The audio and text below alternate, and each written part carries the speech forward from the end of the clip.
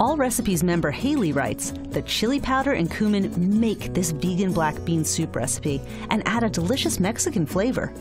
Member Tammy writes, It's very good, easy to make. I love that it has vegetables in it. One more tasty way to eat your veggies.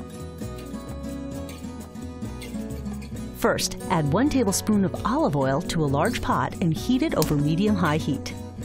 Add one large chopped yellow onion, one chopped stalk of celery, two chopped carrots, and cook, stirring occasionally for about five minutes.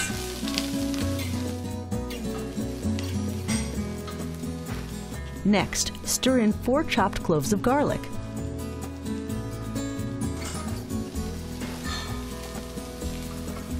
And two tablespoons of chili powder. Some All Recipes members suggest using less if you prefer. Add one tablespoon of ground cumin and one pinch of ground black pepper. Stir and cook for about one minute. Next, add four cups of vegetable broth. Low sodium is fine.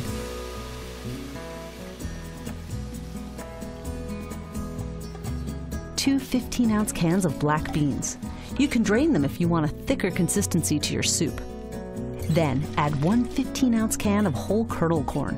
Again, drain it if you prefer. Heat this to bring to a boil. Meanwhile, add two more 15 ounce cans of black beans to a food processor or blender. Add one 14 and a half ounce can of crushed tomatoes and process them until smooth.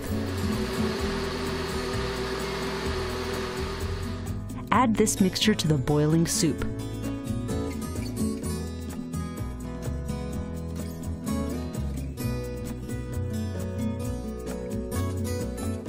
Reduce the heat to medium and simmer for 15 minutes.